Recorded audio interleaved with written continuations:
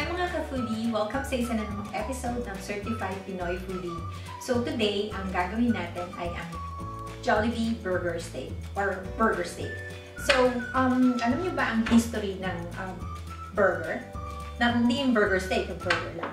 So, mamaya, ang trivia natin yan habang ginagawa natin to. so, um, bibigyan muna ang mga ingredients. So, habang ginagawa natin to, ibibigay ko na ang trivia na hamburger or burger. okay, so ito na po ang ating mga ingredients.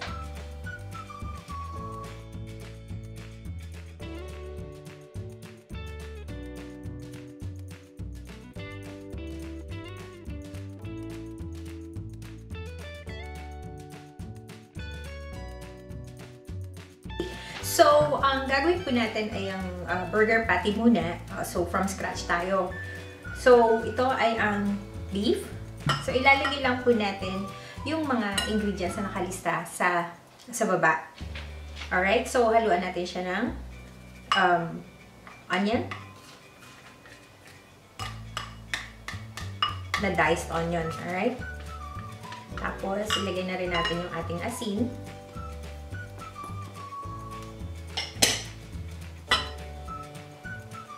Lagay natin ang ating paminta. Ang ating, um, hindi ko kasi ma-pronounce to. Lee and pairings na lang. Worcestershire? Worcestershire? Worcestershire? Ah, basta yun na po yun. Basta Lee and pairings. Ayan. At ang ating soy sauce. ang ating egg.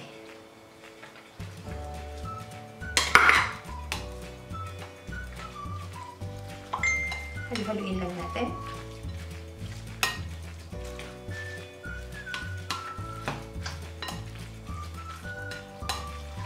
Ah, yun. Kanina, binanggit ko na may trivia tayo sa um, burger.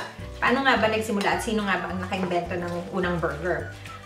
Well, may mga version po sa Amerika na ang Library of Congress daw nag-agree na si Louis Lassen ang nag-imbento ng um, unang hamburger noong 1900s.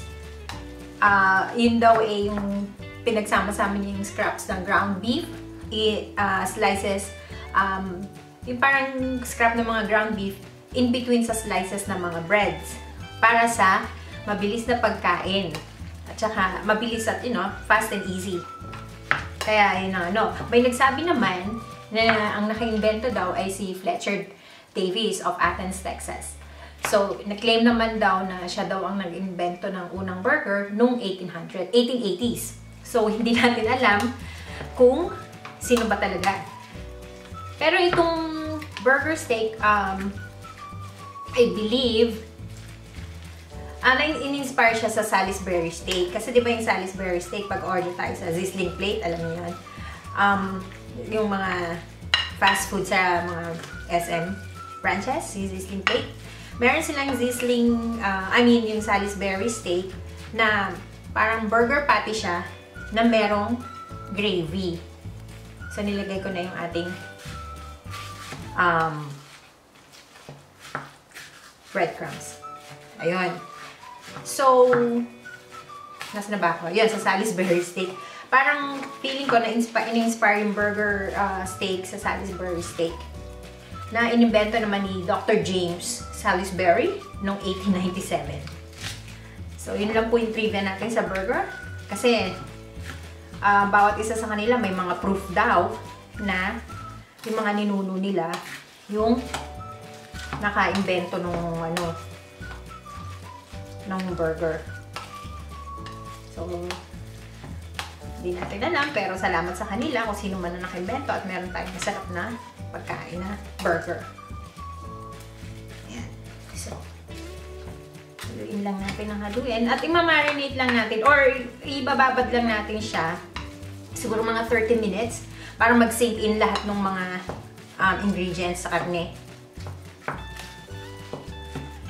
Actually, pwede ko na siyang kamayin kasi mas mas mahahalo siya ng husto pag kinamay-kamay siya. Ganun naman yung ginagawa natin kasi niluluto naman natin to tsaka malinis naman yung mga kamay natin.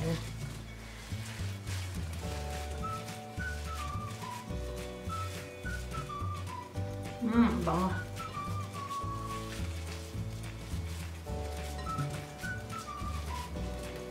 Tapos, pagka after ng um, 30 minutes, isi-shape natin siya into, uh, imomold na natin siya or isi-shape natin siya sa sa burger patty in, according to your ano thickness ng uh, patty natin.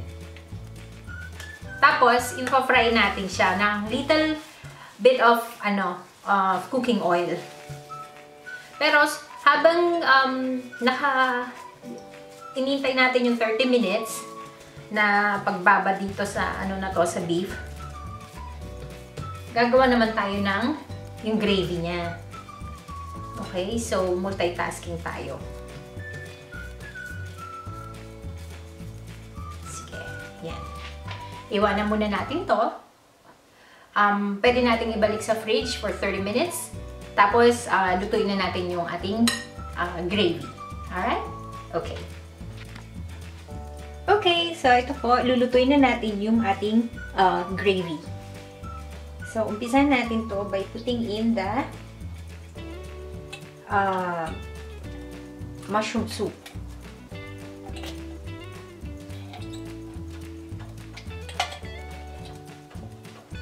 Okay? So, pag nalagay na natin yung mushroom soup, dadagdagan natin siya ng um, one can of water. Dito na rin po natin ilalagay. Ito na yung bali pinaka-measuring cup natin.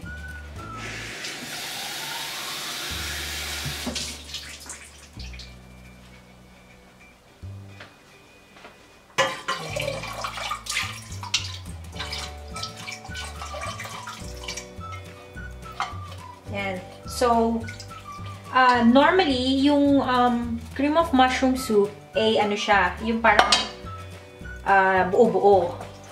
Kaya, ang gagawin natin, after adding the, the water, uh, haluin lang natin siya para mag-hiwa-hiwalay uh, siya at ma-liquefy.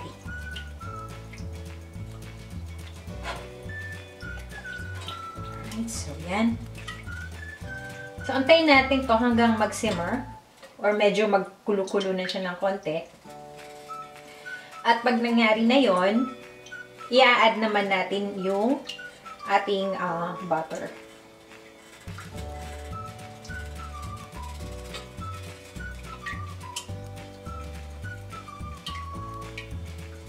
Yan, so, haluin lang natin.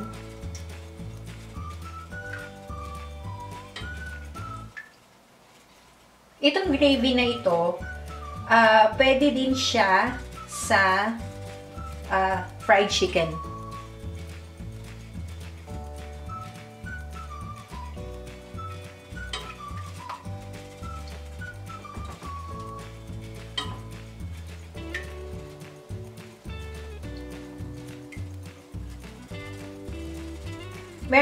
May mga, may, may mga time na um, yung mga cracklings o yung parang oil ng pinagprituhan ng ating um, burger patties, pwede rin natin siyang isama dito.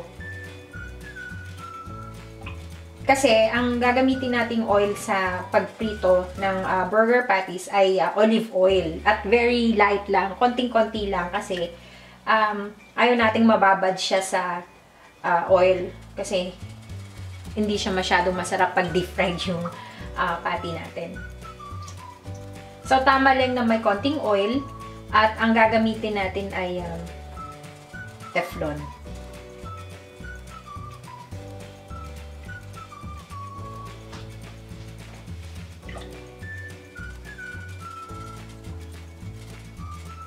So, normally, yung isang can uh, ng water ay equivalent to 1 cup more or less.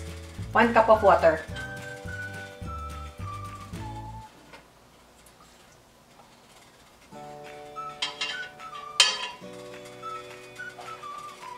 So, yan. Hintay lang natin siyang kumulo.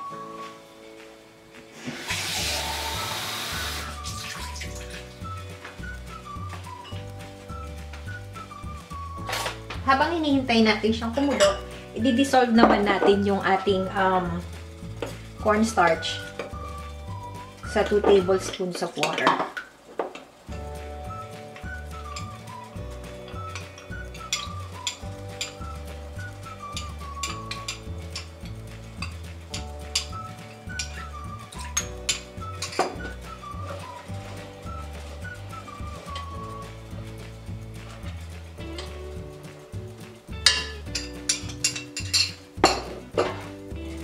Na siya.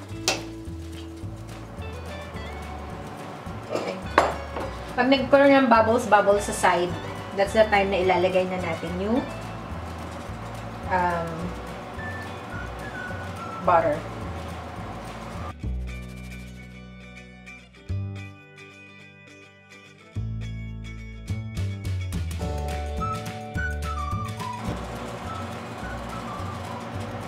So, medyo bumubula-bula na siya. Add na natin yung butter.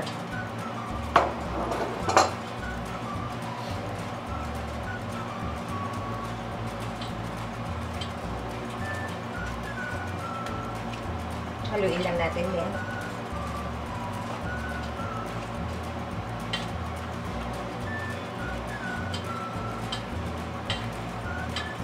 Pwede na rin natin i-add yung ating soy sauce.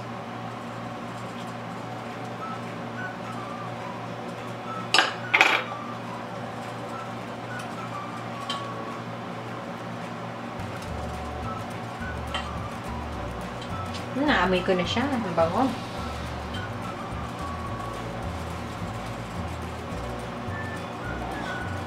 So, habang uh, yan, nag, medyo nag kumukulo siya, lilitan natin ng konti yung apoy sa medium. Tapos, lagyan na natin siya ng paminta. Siguro mga 1-8 teaspoon ng paminta. So, pag matagal na tayo nagluluto, medyo kabisado na natin yung uh, measurement. Tansyahan na lang kasi minsan. So, ayan. Lagyan na rin natin ang ating mushrooms. Yung sliced.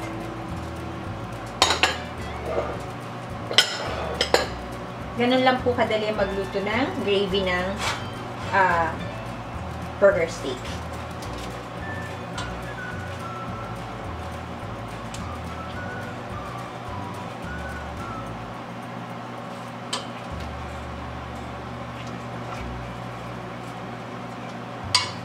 Tapos, ang last, i-add na rin natin ng ating uh, cornstarch. Pasaluin na lang para hindi siya magbuo.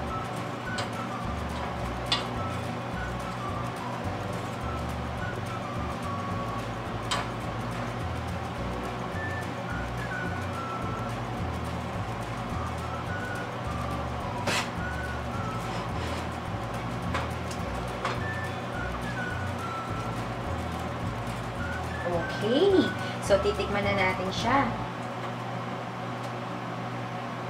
Tamang-tama lang yung um, consistency ng gravy niya, kung makikita ninyo.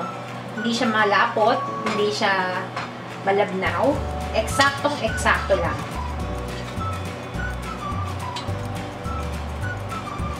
Yan. So, once na nakita nyo medyo lumapot na siya, at um, that means medyo na-dissolve na dito yung um, cornstarch. So, titikman na natin siya.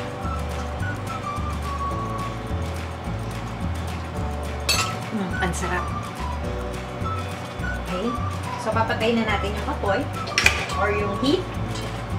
And then, we'll proceed na i-shape or i-mold na natin yung ating uh, burger patties para ipiprito na natin siya. Or i-grill or something. Basta ilalagay lang natin siya sa ibabaw ng teflon na pan with uh, very little uh, oil. Yan. So, set aside muna natin si gravy habang pinapalamig natin siya. At we'll go on um, molding the ano, burger patties. Alright? So, nakita din natin yan.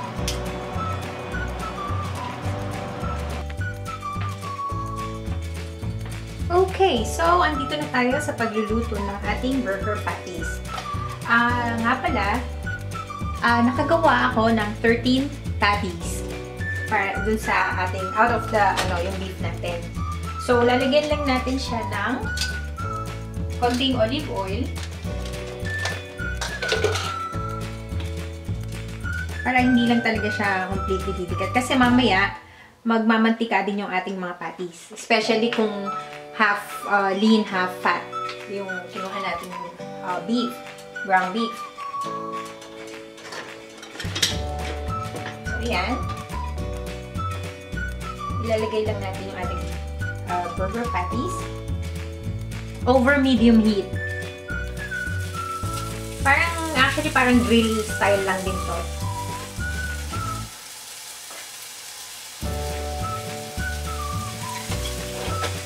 Konting oil lang talaga para lang hindi siya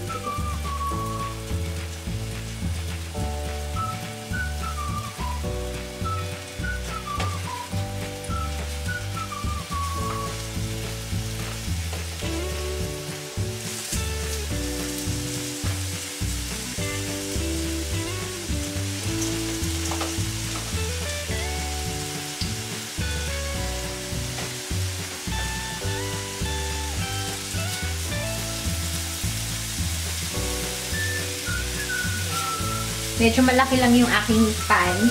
Kaya naglagay ako ng um, about 7 pans.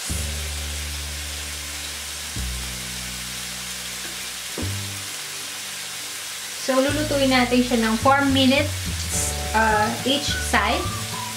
Bukan natin ang ating egg.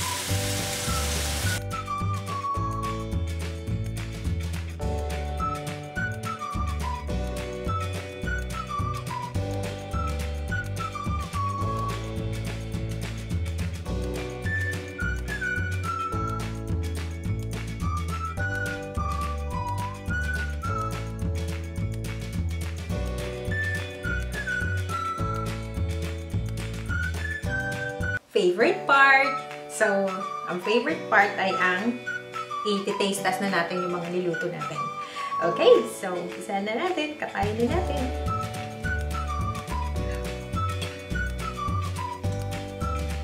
Mm. Can't wait. Ito na po.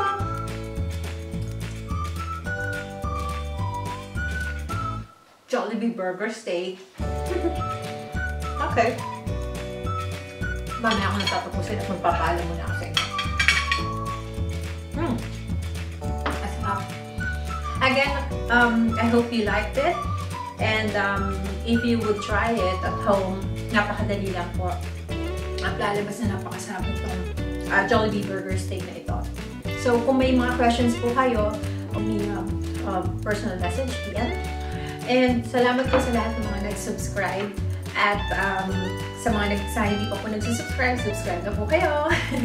and uh, thank you for all your support. And again, um, paalam! Thank you and um, I really hope you subscribe to my channel. Bye!